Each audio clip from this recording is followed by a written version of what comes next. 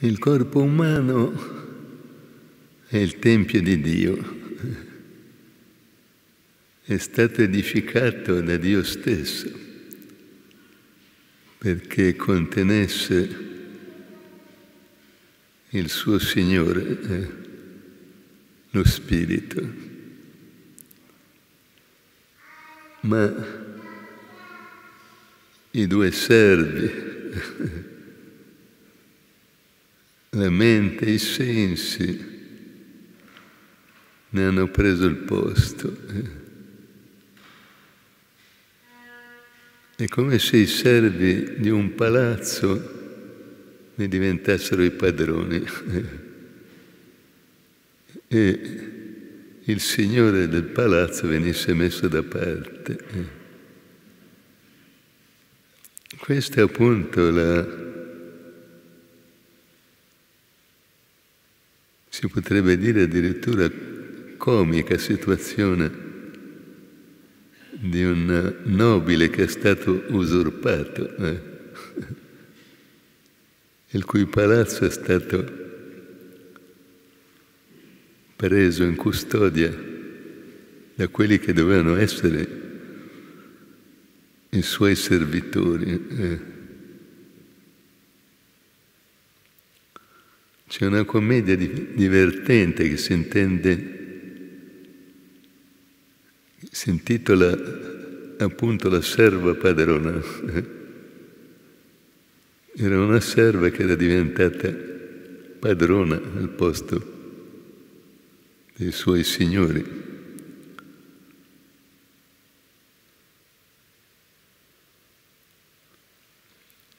Così per poter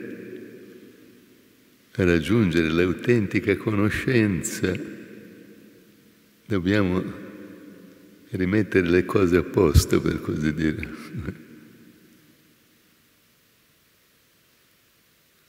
Lo spirito deve di nuovo acquistare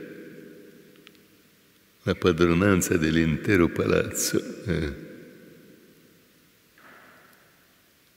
Allo stato attuale i sensi dominano incontrastati. E la mente è schiava dei sensi eh? e lo spirito assolutamente dorme un sonno simile alla morte. Così una volta un giovane chiese al maestro, in che modo possiamo realizzare la conoscenza di Dio?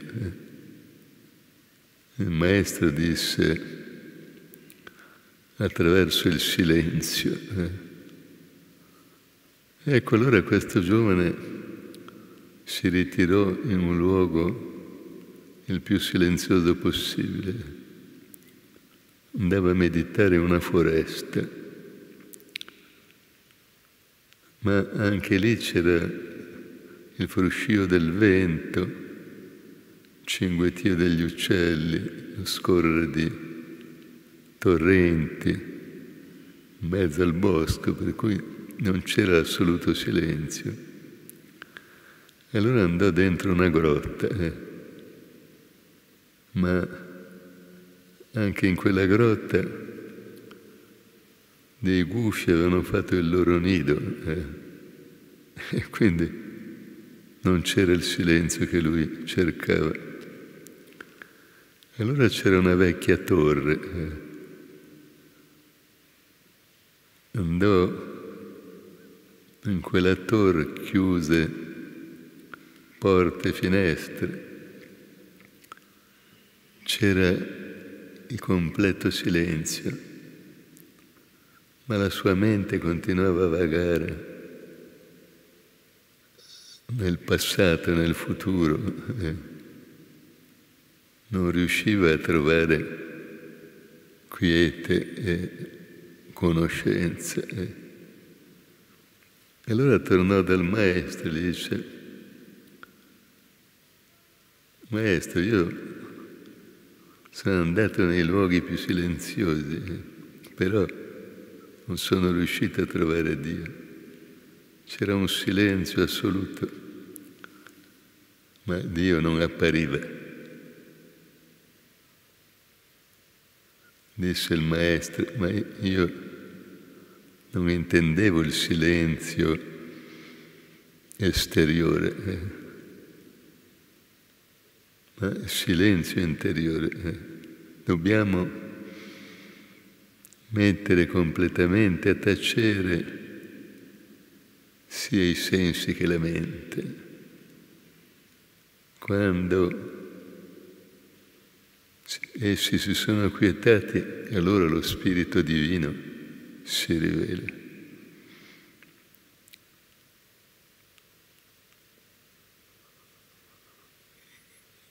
Così ci sono miriadi di vie eh, che cercano di raggiungere questo scopo. Ma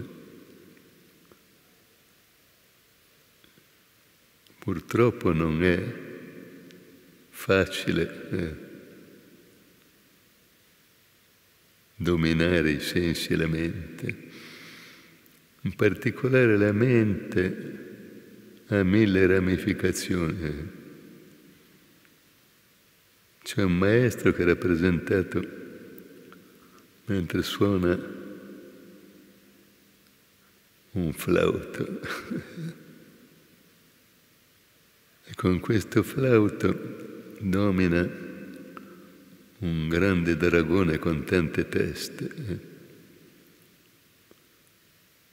Il flauto è il, la parola interiore, è il suono divino, la vibrazione cosmica e il dragone è la mente. Eh? L'unica cosa che può quietare la mente è la parola divina. Quando questa parola vibra dentro di noi, allora le vibrazioni mentali vengono acquietate.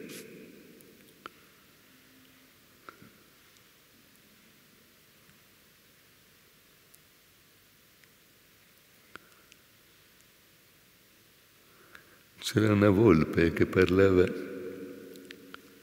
insieme a un gatto. E la volpe lo dava le sue capacità e diceva io sono considerato il più scaltro di tutti gli animali e nessuno mi può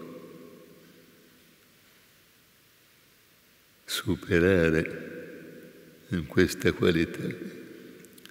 Me la so cavare in tutti i frangenti. E tu chiedi al gatto che virtù hai. E io ho delle unghie così acuminate che mi posso arrampicare con grande rapidità su per gli alberi. Eh, ma è una cosa che conta veramente poco questa di la volpe, che senso ha arrampicarsi sugli alberi? Ecco che non aveva ancora finito di pronunciare queste parole che si sentirono dei corni di caccia che si avvicinavano era in corso una caccia alla volpe. Il gatto agilmente si arrampicò su per un albero che c'era lì vicino. La volpe si mise a correre con quanto fiato aveva, ma c'erano dei cani da caccia velocissimi che in pochi istanti la raggiunsero e la pelliccia di questa povera volpe andrò, nonostante la sua astuzia, a adornare eh, il collo di una signora. Così ci sono tante vie a questo mondo e ognuna, ognuno la loda la via che sta seguendo. Ognuno crede di essere sulla via maestra, ma la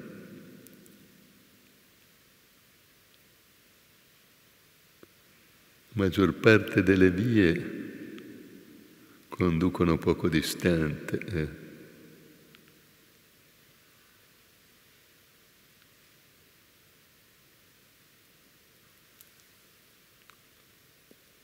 Non sono in grado di fare il silenzio nella mente e nei sensi.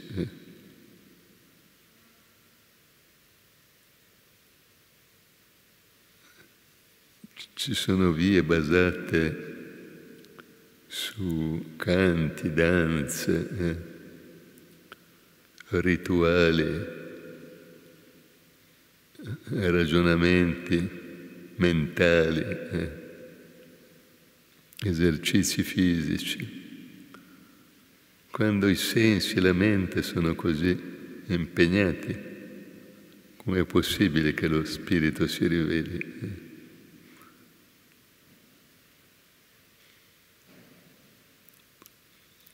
La meditazione più elevata esige la quiete completa, l'immobilità proprio assoluta dei sensi e soprattutto della mente. Eh? Quando sensi e mente sono assolutamente silenziosi, allora il padrone del palazzo si ridesta al tocco della luce e del suono divini elargiti dal Maestro e riprende le redini della meravigliosa casa costruita da Dio. Allora finalmente torna ad acquistare la libertà perduta. È stato prigioniero per eoni. Finalmente con la grazia del Maestro trova la via verso la liberazione. Anche la via è antichissima. Eh ha assunto nomi diversi attraverso il tempo, ma la pratica è sempre la stessa. Così è stata chiamata Sant Mat, eh, la via dei maestri, oppure Surat Shabd Yoga, lo yoga nell'assorbimento, nella parola divina. Oggi è chiamato meditazione universale. Perché? Perché si appresta a diventare veramente una pratica estesa a tutti gli abitanti del pianeta, a diventare veramente universale.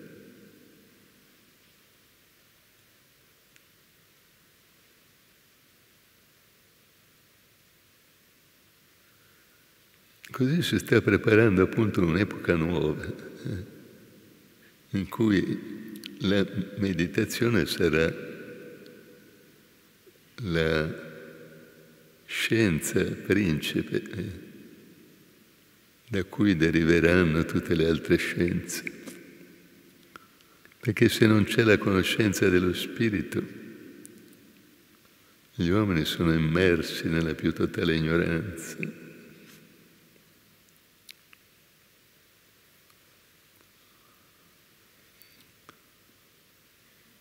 Così, così si citano filosofi, no? si citano grandi scrittori, grandi per la gente naturalmente. Si citano persone che avevano tante lauree, ma mancava loro la laurea principale, la laurea in spiritualità. È l'unica laurea che conta, le altre non servono a nulla praticamente. Ce ne andiamo ignoranti come quando siamo venuti. Così questa meditazione universale è la scienza principe dell'età dell'oro che si prepara, perché dà una conoscenza che è davvero senza limiti.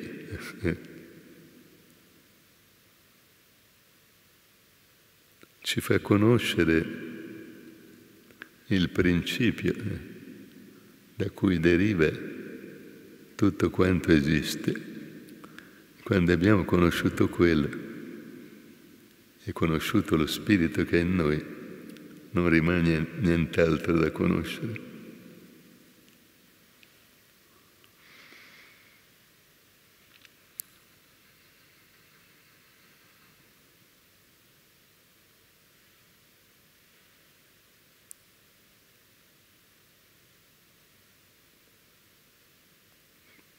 Così abbiamo la fortuna eh, di, di avere a nostra disposizione questa scienza universale, eh? la meditazione più elevata che l'essere umano abbia mai praticato. Eh?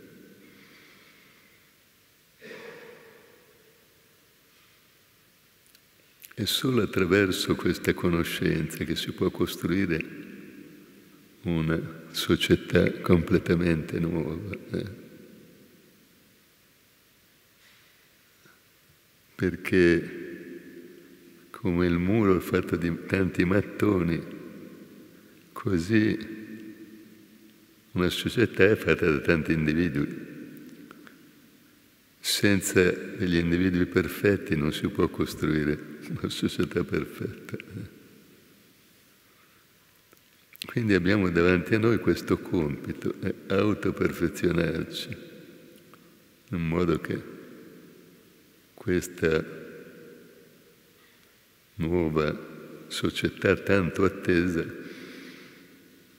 possa veramente venire. Eh?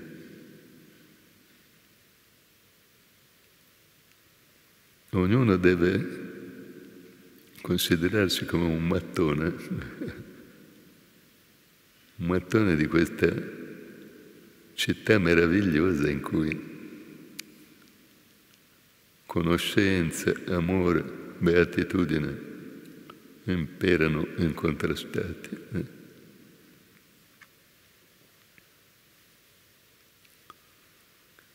E quindi dobbiamo innanzitutto costruirla dentro di noi.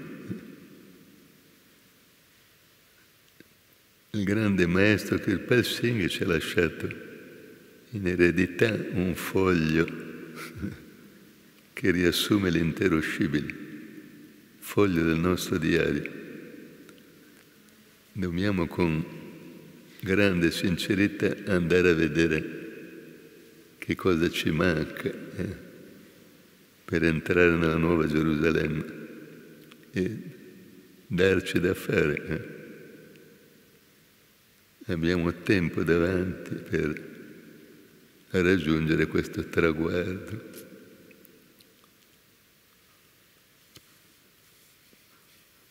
Perché di fronte al diario ci siamo noi noi e il diario, eh. non c'è nessun altro. Perché al giorno d'oggi la gente cerca di apparire, ma davanti al diario siamo veramente quello che siamo.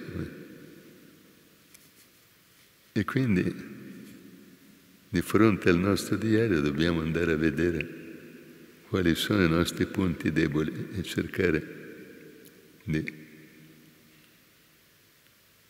eliminarli.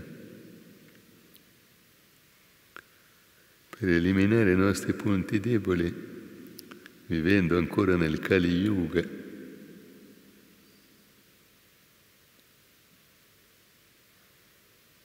ci vuole grande attenzione. Se prestiamo attenzione alle miriadi di illusioni che porge il Kali Yuga, non potremo mai entrare nella nuova era, perché saremo sopraffatti dalle miriadi di illusioni che quest'epoca che sta per finire porge alla mente umana.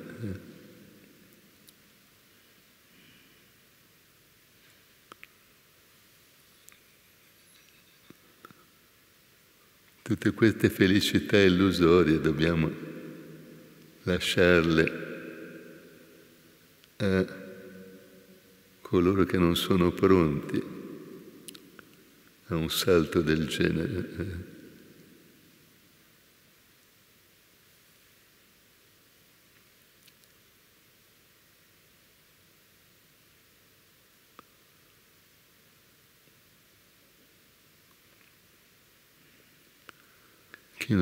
Chi non è pronto a nascere di nuovo, diceva appunto il Cristo, eh, non può entrare nel regno di Dio. Dobbiamo creare l'uomo nuovo dentro di noi. Allora, il regno di Dio discenderà dal cielo immediatamente.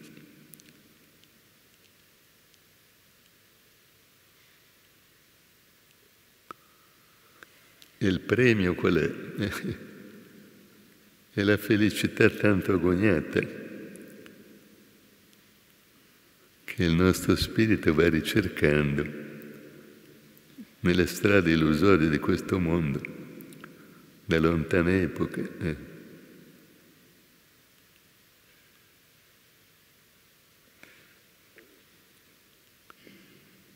Quindi il mondo esterno, diceva Kirpa Singh, in quest'epoca di Kali Yuga, il mondo esterno che ci circonda è, è avvelenato,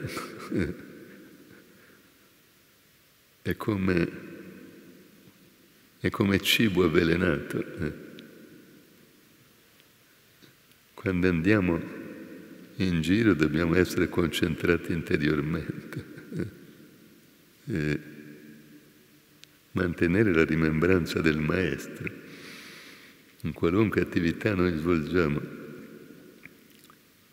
Allora tutti i nostri lavori riusciranno anche meglio. Eh? Mantenere questa gioia interiore. Di avere il Maestro sempre con noi.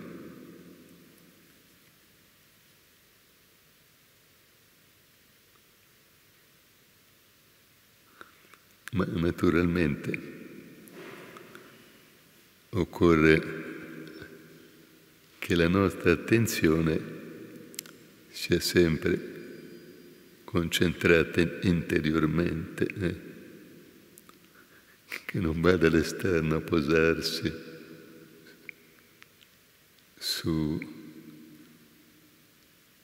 le miriadi di surrogati eh, dell'autentica gioia che l'uomo ha costruito attraverso in particolare questi ultimi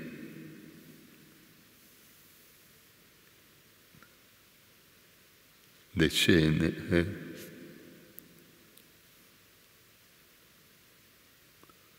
in cui addirittura è stata costruita una realtà virtuale eh, che cerca di prendere il posto della realtà reale ma non può riuscirci.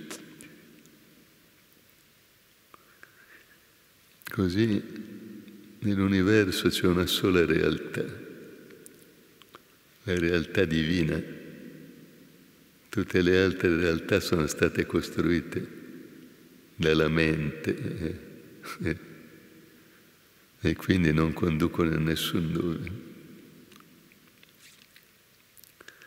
La realtà divina è lo spirito divino che si trova dentro di noi, che è della stessa sostanza. Eh. Quindi questa è la realtà autentica nella quale dobbiamo appunto cercare di vivere.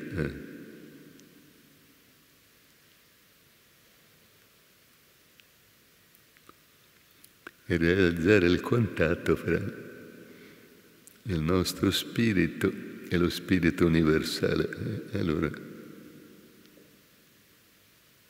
tutto il resto ci verrà dato in aggiunta. Eh.